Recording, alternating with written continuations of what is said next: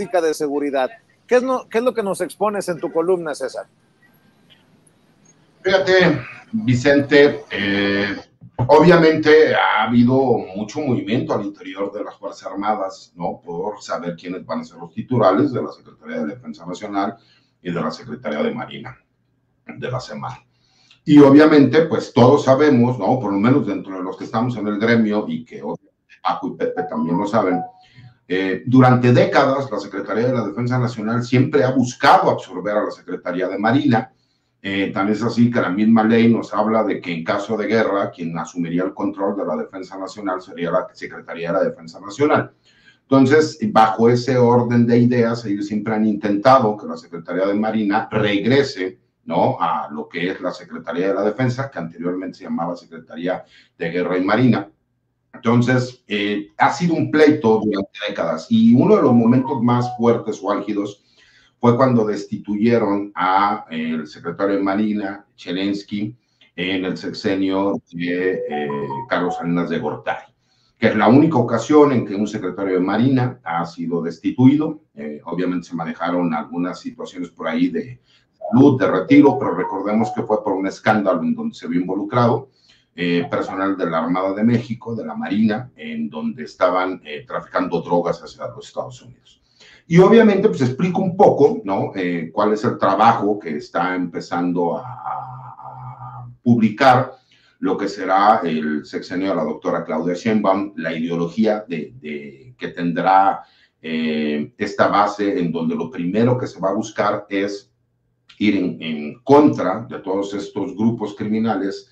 pero no solamente los de alto perfil, sino aquellos que afectan a la ciudadanía en el día a día, en delitos que tienen que ver más con el foro común, pero que con este trabajo coordinado de seguridad se tiene que dar resultados a la ciudadanía. Y un ejemplo es pues, el robo, ¿no? A transeúntes, a casa habitación, en vehículos, eh, obviamente el cobro de piso, ¿no? que afecta a los negocios en el día a día, eh, la extorsión, o sea, todo ese trabajo que es necesario y que parecería, ¿no? A lo mejor para los grandes titulares de los medios corporativos no tan importante, es en donde quieren focalizar los esfuerzos, porque saben que lo que afecta al ciudadano de a pie,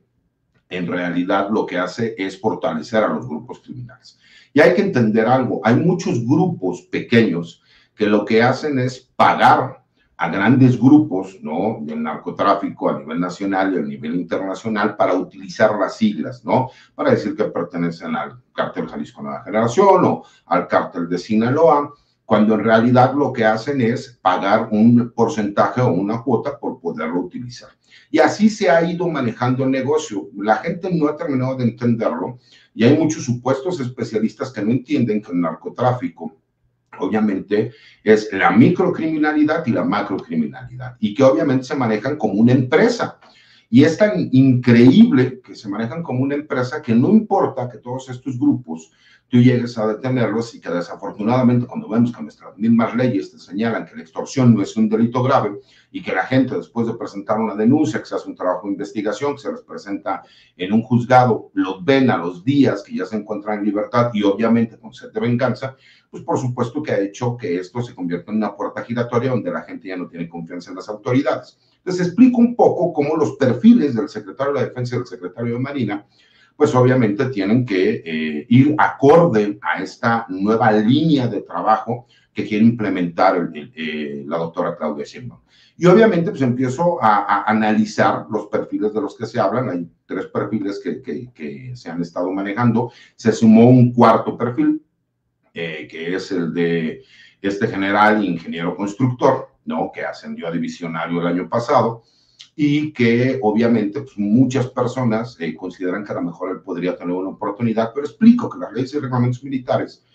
eh, señalan que él no podría tener oportunidad porque no cumple con los requisitos, ¿no? De haber sido comandante, tener mando como comandante de zona, como comandante de región, etcétera, y que a lo mejor algunos de las personas que hablan lo desconocen y analizamos los perfiles restantes, ¿no? Obviamente, pues hay dos perfiles que son los más fuertes, ¿no? Que es DN2, que es el secretario de Defensa, el subsecretario de la Defensa Nacional, que es el general Rincón,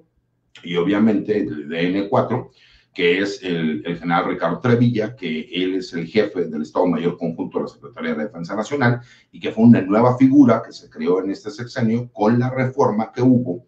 a la Secretaría de la Defensa Nacional para que dejara de tener el mando operativo del ejército. Por eso cuando escuchamos que la gente diga es que la Guardia Nacional va a pertenecer al ejército, pues obviamente no saben ni siquiera de lo que están hablando. La Secretaría de la Defensa Nacional es una secretaría que cumple con funciones político-administrativas y que el mando del ejército obviamente ya se quedó en una comandancia general, al igual que existe una comandancia general de la Fuerza Aérea y que en próximos días eh, asumirá también como comandancia general la Guardia Nacional y que será una fuerza armada, pero que cumplirá con funciones únicas y exclusivamente de carácter de seguridad pública. No intervendrá en la seguridad interior y mucho menos en la seguridad nacional. No es algo tan complicado que se pueda entender. Y obviamente estos pleitos que siempre han existido por parte de la Secretaría de la Defensa Nacional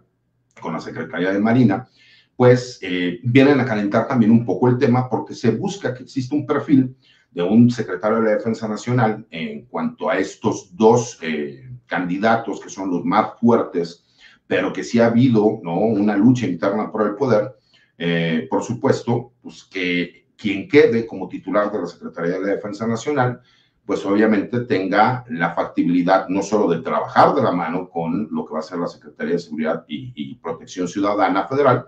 sino que también tenga una buena relación con la Secretaría de Marina y a su vez se busca que el perfil del secretario de Marina eh, también se acorde a seguir trabajando con la Secretaría de Seguridad y Protección Ciudadana y a su vez tenga mejor coordinación con la Secretaría de Defensa Nacional y evitar un poco esos pleitos que han existido desde hace décadas, ¿no? Y obviamente terminó la columna señalando que dentro de estos dos perfiles hay uno que ha llamado demasiado la atención, que es el del general Ricardo Trevilla,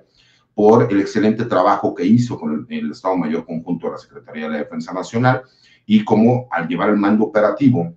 y ser ese enlace entre la Secretaría de la Defensa Nacional y las comandancias generales, se han visto los resultados desde que fue creado. Entonces es un poco un análisis para que la, gente lo pueda entender, eh, desgloso cada uno de los puntos y bueno, lo señalo de acuerdo a, a lo que yo considero que es pertinente. Muy bien, en la segunda